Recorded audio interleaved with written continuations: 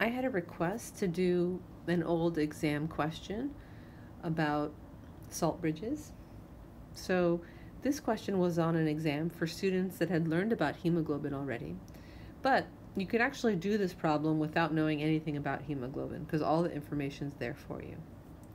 So that first sentence about the eight salt bridges, you don't really need to know, but it's important to remember that salt bridges are what ionic interactions may be called when they're in a protein. And remember, ionic interactions are between positive and negative groups.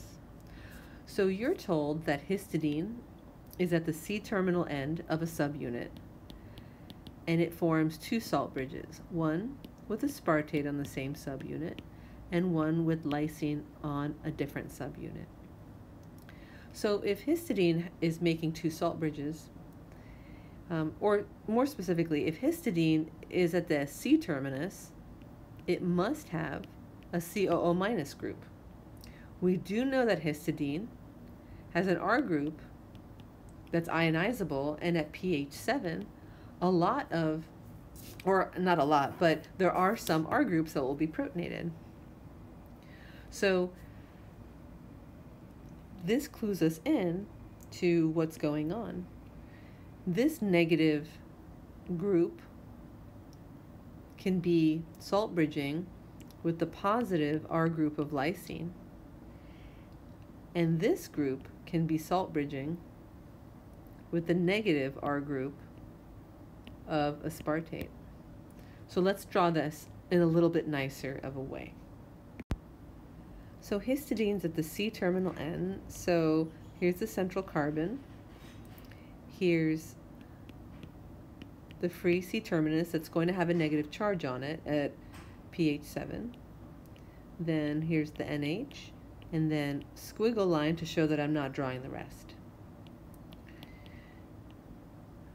The R group of histidine is going to exist in two forms. So we have the form that's neutral, but we also have some of the form where it is charged. And it's important to know that the charged group will be resulting in a positive charge. So if there's a salt bridge with histidine aspartate, we know aspartate has a negative R group.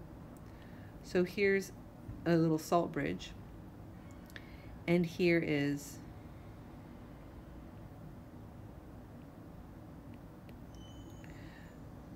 the carboxyl group of aspartate.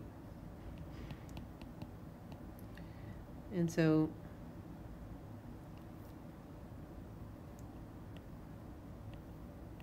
because it's a residue in a protein, it doesn't have a free amino group and a free carboxylic acid group. It's got a carbonyl and an NH.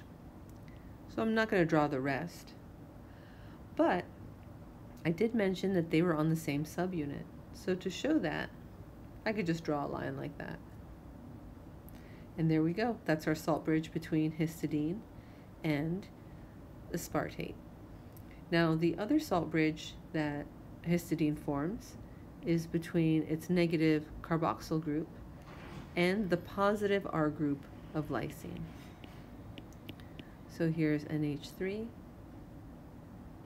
I'm just going to save some time. Line drawings were acceptable, so I could have drawn that, but I didn't.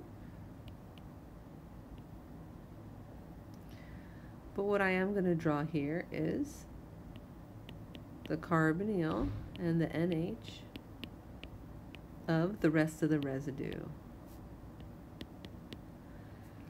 And that is the completion of this problem. If you wanted to sit and list the things that you're being tested on, I think that would be good, is can you draw the structures?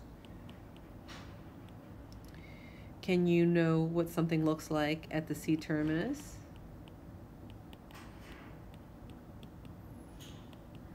Do you know how to draw a salt bridge? Can you draw a residue? Not just an amino acid, but a residue, so that these these are the groups you have rather than an, an H3 and a COO minus. So versus free amino acid. A lot of students drew three free amino acids and that caused them to lose some points. And then there was only, it was only worth one point, but drawing them on the same subunit, indicating that you understood that part of the problem.